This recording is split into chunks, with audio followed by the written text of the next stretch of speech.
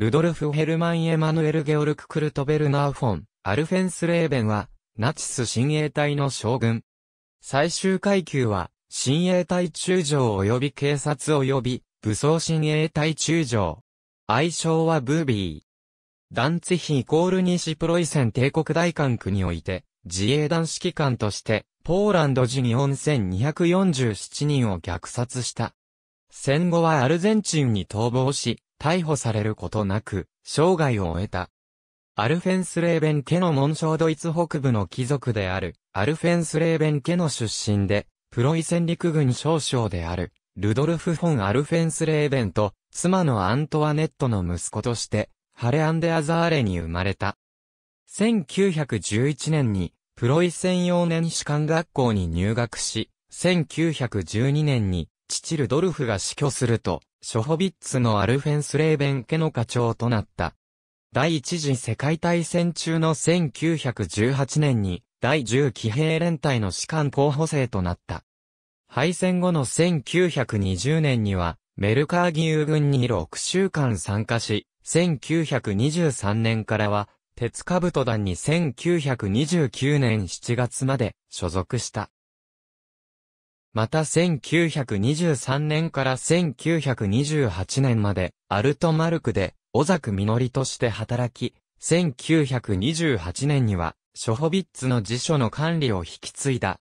1929年8月1日に、国家社会主義ドイツ労働者党に入党し、アイスレーベンの地区指導者に任命された。同時に突撃隊にも、入隊、党の演説者にもなった。1930年2月1日に、マンスフェルダー・ゼークライスの管区指導者に任命された。8月21日に交通違反のため、2日間のコーチと20ライヒスマルクの罰金の処罰を受けた。また共産党員との路上闘争で、胸、頭蓋骨、肩を負傷した。1931年7月からは、ハレメルゼブルクオークダ区における突撃隊自動車部隊の指揮官を務めた。同年、ドイツ社会民主党員のアイスレーベン軍軍長への侮辱のために200ライヒスマルクの罰金支払いの処罰を受けた。1932年2月に突撃隊を離れた。1933年にハレメルゼブルクオークダ区の大管区監察官に任命された。また2月から5月まで一時的にアイスレーベン軍の軍長を務めた。2月12日に起きたアイスレーベンの共産党支部への襲撃事件である、アイスレーベンの地の日曜日には、ハレメルゼブルクオークダク指導者である、ルドルフ・ヨルダン、アイスレーベンの親衛隊指導者である、ヘルマン・フロアシュテットらと共に関与した。1933年3月から1934年4月にかけて、プロイセン州ザク選権の県議会議員を務め、アイスレーベンの地区委員及び、軍議員も兼任した。1933年3月5日から10月14日までは、プロイセン州議員を務めた。6月1日にアイスレーベンの軍長代行となり、8日には副軍長となった。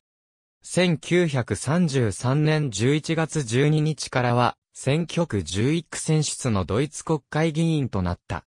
1938年4月10日の選挙においては、選挙区31区から選出された。左から、帝国女性指導者ゲルトルート、ショルツクリンク、親衛隊全国指導者、ハインリヒ・ヒムラー、ルドルフ・ヘス、バルドゥール・フォン・シーラッハ、アルトゥール・ワクスマン、ヒムラーの後方にいるのが、アルフェンス・レーベン1934年4月1日に、親衛隊へ入隊し、第7親衛隊連隊に配属された。同日親衛隊中佐となり、ドレスデンの親衛隊46連隊の指揮官となった。4月23日には、ライプツヒのナイトクラブ所有者の妻である女性に暴行したことにより、8月20日にハインリヒ・ヒムラーから検責処分を受けた。1935年6月26日から9月26日まで、ドレスデンの第10連隊、第2大隊の機関銃中隊に、10月1日に、親衛隊26連隊の指揮官となった。1936年5月20日からは、バイセンフェルスの第53不評連隊、第2大隊に配属され訓練を受けた。9月20日には、シュトゥットガルトの第10親衛隊管区指導者、1936年4月に親衛隊大佐に昇進。また、ビュルテンベルク州の州首領長官の名誉会員となった。1937年1月10日に第119不評連隊の予備役将校となった。12月1日にはレーベンスボルンの会員となった。1938年3月5日から4月3日まで健康上の理由により休養後、7月1日にシュベリーンの第33親衛隊管区の指導者となった。8月にザルツレッドフルトイコールコンツェルン、カリベルケ、及びマンスフェルト株式会社及び製鉄所の特別顧問に就任。11月14日からヒムラーの首席副官となり、11月25日からは副官長として1941年1月31日まで働いた。ポーランドダンツヒーコール西プロイセン自衛団。司令官時のアルフェンス・レーベンポーランド侵攻開始後の1939年9月3日から11月20日まで、ダンツヒー・コールニシプロイセン帝国大管区における自衛団指揮官に任じられた。そこで、かつてのベルリン突撃隊指導者で、民主主義者や共和主義者を虐待したカール・エルンストを思い起こさせるような暴君ぶりを発揮し、西プロイセンの住民の生死を握ることとなった。一例として、ヒムラー訪問中に、ブロンベルクで20名の破壊工作容疑のポーランド人処刑を監督した際に、自ら拳銃で止めを刺した。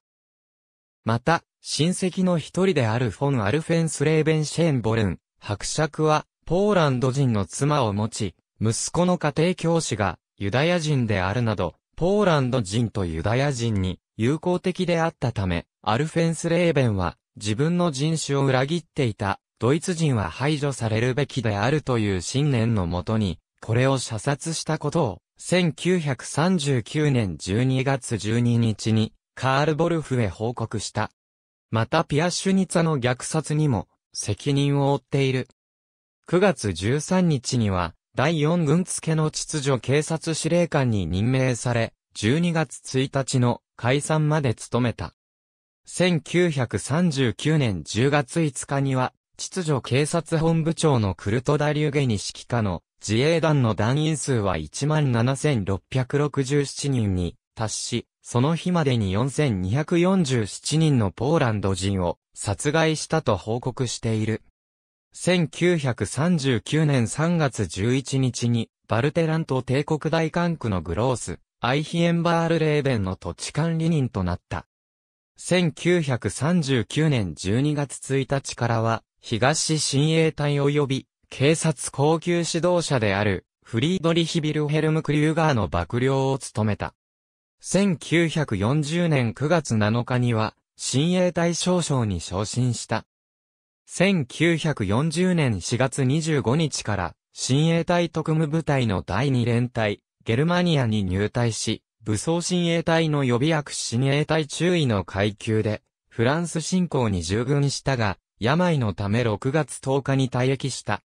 1940年8月1日からは、ヒムラーの個人幕僚となり、また一時的に秩序警察及び国家保安本部で研修を受けた。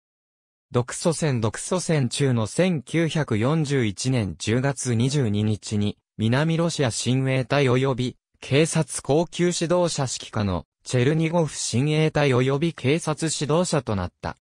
11月19日にシンフェロポリの親衛隊及び警察駐屯地指導者、12月6日にはタウリカクリミア行政地区親衛隊及び警察指導者に任命され、そこでタイパルチザン戦を行った。1943年10月6日にはニコライエフ親衛隊及び警察指導者を兼任した。だが10月10日に病のため職務を離れ、11月1日まで、法園流編療養所で療養した。その後ドレスデンの病院へと移り1944年2月11日まで治療を受けた。その間の1943年10月29日から国会親衛隊及び警察高級指導者へ任命され、11月9日に親衛隊中将及び警察中将に昇進した。1944年2月19日より、ウード・フォン・ボイルシュの公認として、エルベ川親衛隊及び、警察高級指導者及び親衛隊、上級地区司令官に就任し、10月1日より、第4軍管区の高級捕虜収容所司令官に任命された。1945年5月に、イギリス軍によって逮捕されたが、1980年11月27日に、カール・ボルフが明かした情報によれば、1946年9月11日に牛乳輸送車に隠れて捕虜収容所から脱走した。その後ショホビッツに短期滞在後、福音協会からの援助を受けて1946年に家族と共にアルゼンチンへ逃亡した。1949年にアルゼンチンのブエノスアイレスに到着し、カルロス・リュッケの名で住んでいた。1952年9月15日には、フアン・ペロン大統領からアルゼンチン国籍を付与され、ブエノスアイレスに1956年7月まで居住した。1956年にサンタロサでカラムチタに移り、エレーロ湖の養殖漁業管理官となり、豪華な不動産で暮らした。友人であるペロンは彼を R11111 地区の釣り、狩猟、ヨット部門の部長に昇進させた。また CA ユニオンの会長にもなっている。ポーランドでは欠席裁判が行われ、自衛団司令官として4247人の人間を殺害した角で被告人不在で死刑判決が下り、1964年1月にミュンヘン地方裁判所から交流命令が出されたが、引き渡しには至らなかった。1970年4月1日にサンタロサで、カラムチタで肺がんにより死去した。妻は1924年5月3日に結婚したメリッタ・フォン・グアイタ。メリッタもナチ党に入党している。メリッタとの間に二人の息子と二人の娘を設けている。出展出展。ありがとうございます。